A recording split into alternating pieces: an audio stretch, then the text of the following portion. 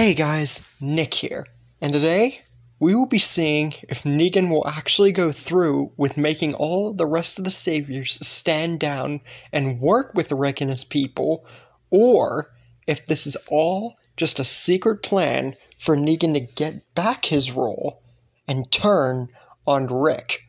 This is part 4 to the remake of What If Negan Killed Maggie. Now, Negan steps up to the entrance of the sanctuary, where all the saviors have come out to, awaiting Negan, Simon, Dwight, all the saviors that have took a very long time to return, and now Negan has appeared alone. He tells all the saviors what happened at the clearing, and that one of the people that he killed was a pregnant woman, and that he has made mistakes, a lot of them, and he tells all the saviors that they're going to stand down, no more taking over communities, and they're going to work with Rick and their people. And peace is going to be the number one factor of the saviors from this point on. Now, there is a long moment of silence, with the saviors being completely blank as to what Negan just said, and then laughter complete, unbridled laughter. Every one of the saviors cracks up at this. Well, mostly all of them, and then the rest follows suit. Except maybe like Sherry and stuff like that. But, anyways, they cannot believe what Negan's saying because half the time you could never know whether Negan was serious or not because Negan's sense of humor and everything, it was just, you never knew. But Negan shuts that down right away, and the nearest walker, either the one who who would be in chains or one that was barred up to the walls of the sanctuary, Negan slams his bat straight into the walker's head and then flings the blood from it across a bunch of saviors. And they now know that from what Negan just demonstrated, he ain't fibbing. Everything that he just spoke was the truth. Now, of course, there a bunch of the saviors thought this was true, but a lot of them laughing, you can't help but join in with the whole crowd of laughter. Anyways, Negan makes it truly clear that his role as the Savior's leader is changed.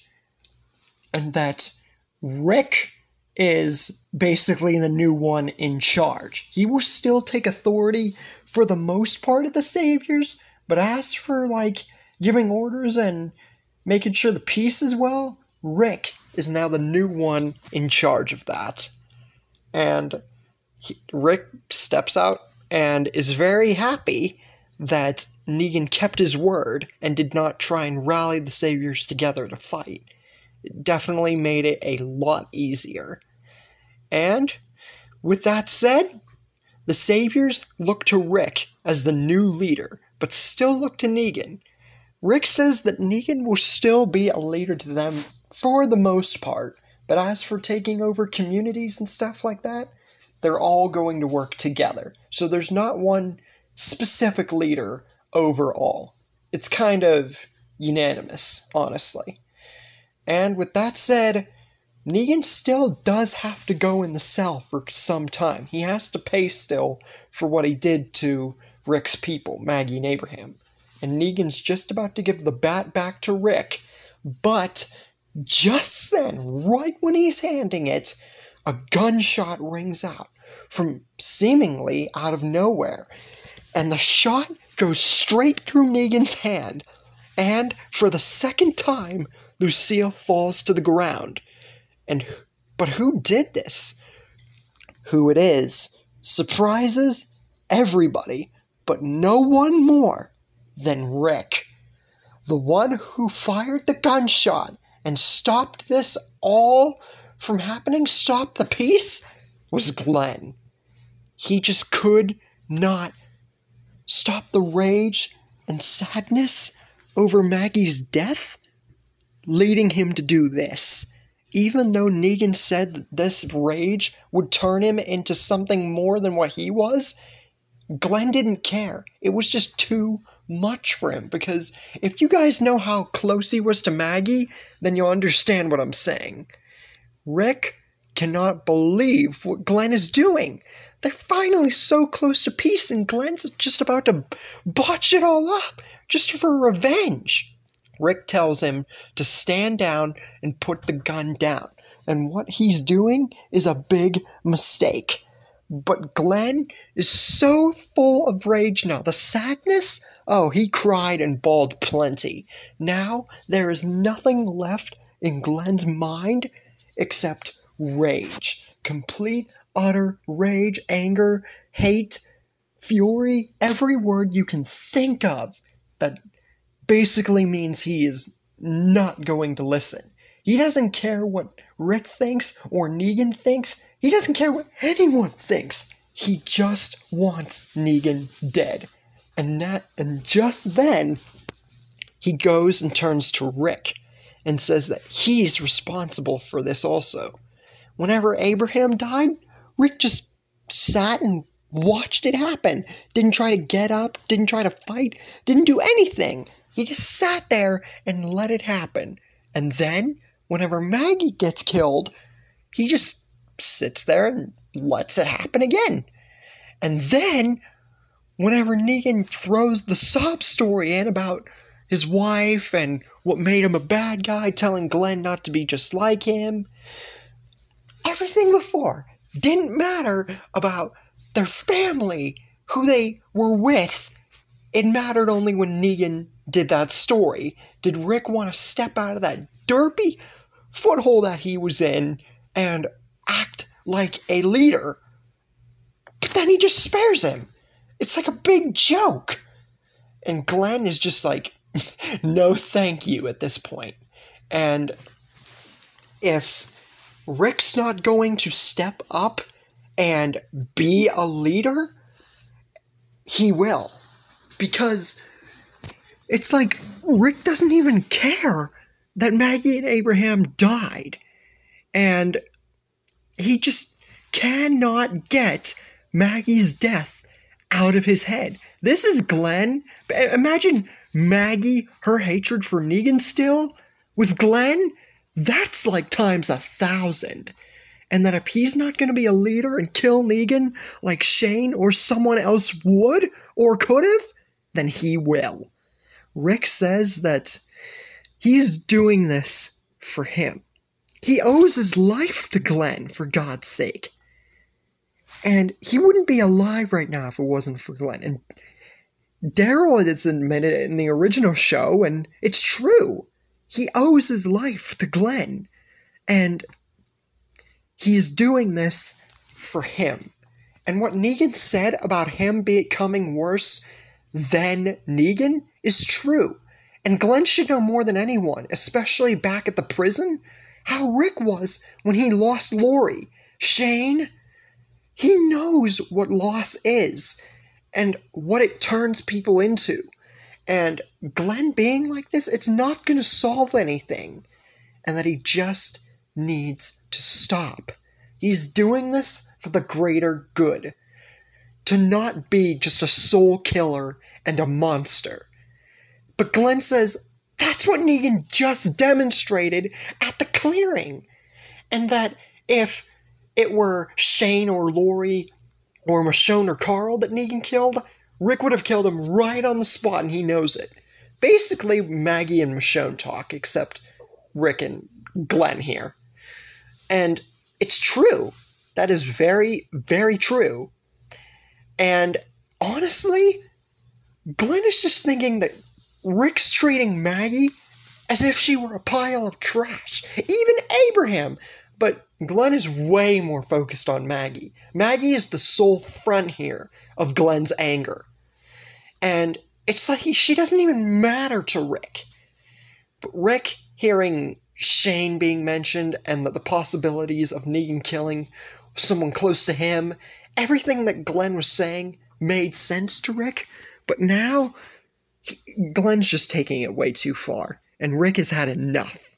He, he has had way, more than enough. He thought that after beating Glenn down the first time, that that would have made him stop. But now, shooting Negan and saying all this stuff, he's taken it way too far. And Rick and Glenn get into another fight, with the fight being way more even this time. Because we not only have one person that's full of fury and rage, we have two. And that's what makes the fight so even, is because they're both angry. They both have to get anger off their minds, except Glenn is way more angry here. Negan, seeing all of this happen and transpire, doesn't know what to think, who to save. But then he makes up his mind, gets himself out of his head, picks up his bat, even though his hand, you know, shot through his hand, and takes his bat and slams it straight across Glenn's face, knocking him to the ground and knocking him unconscious, at least for the moment. But this does not kill him. I'm going to say that again. This is not killing him. And here's the thing with that also, for those of you questioning this. The reason that he hit Glenn and not Rick is because if he would have hit Rick, Glenn would have killed Negan, and this it really wouldn't be anything to go off of after that. The story would be. I, I honestly don't know what I would do with the story after that. It would be pointless. But the reason he hit Glenn is because Rick has helped him see the light. And sure, Glenn did do that, but he's tried to kill him on more than one occasion whereas Rick has given him a chance. And Glenn is still alive, like I said, because he wasn't slammed in the head like he was originally, so his eyeballs not popped out. But he was slammed across his face, and he was lucky that it didn't break his jaw, but it did seriously scar his face. Now, Rick, after this, is tempted on killing Negan here just for attacking Glenn, even though he's not dead. But you gotta think about this for a second. Negan did attack Glenn, that is true, but he didn't attack Rick afterwards. He attacked only Glenn because Glenn was fighting him. And if you think about it, Negan just saved Rick's life here. He could have killed them both right then and there while they were fighting, and possibly gotten himself killed. But he did the right thing by making Glenn stop. And Rick honestly has to thank him for that. And Negan's kept his word so far on not rallying against Rick and everything else. Rick then turns to Glenn, who is now awake again, but badly bruised. Basically, what he looked like when he was tortured by Merle and when he was hit by Negan. Honestly, I'd mix the two together, except he still has both eyes.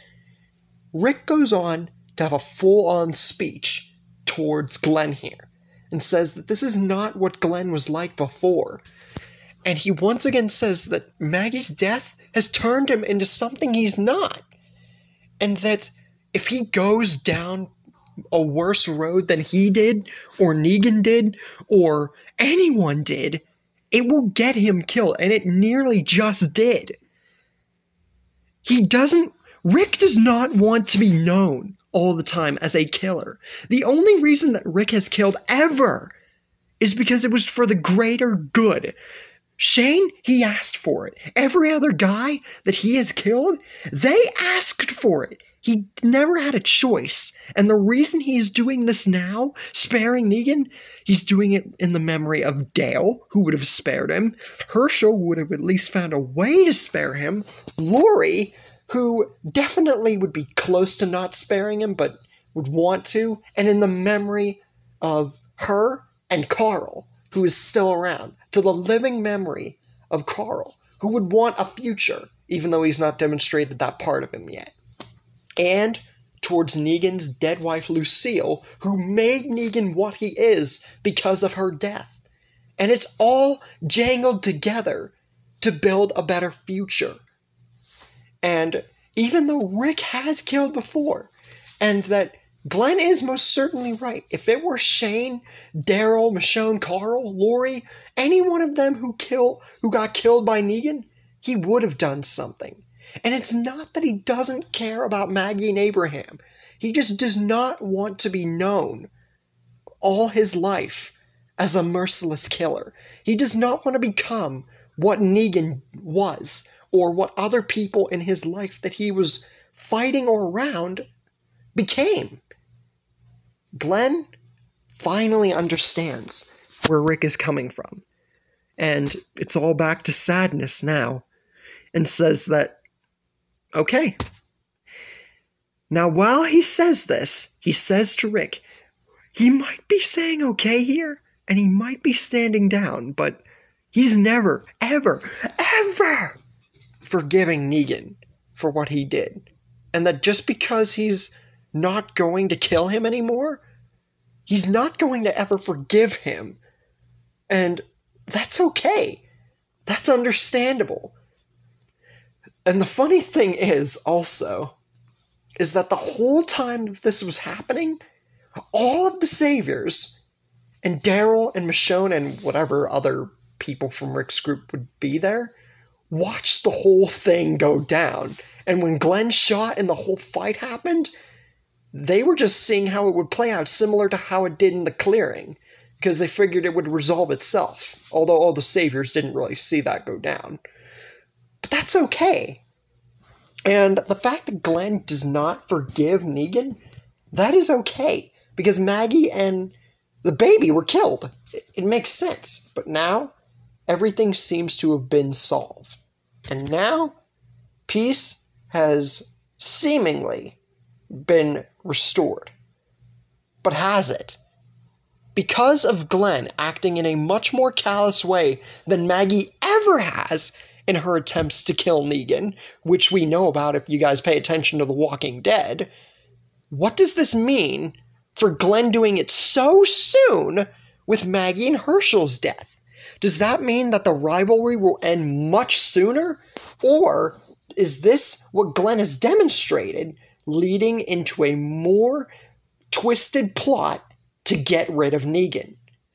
And that's where we leave things for the moment. Definitely a longer episode than I had originally planned, but for what the details had for this specific one, I definitely wanted to bring out all the stops to demonstrate not only how Negan has changed so early, but how it's affected Glenn since Maggie and Hershel have died, and the way Rick feels in sparing Negan in this particular story. But I hope you guys enjoyed nonetheless in this part. Stay tuned for the next one, and I'll see you guys next time.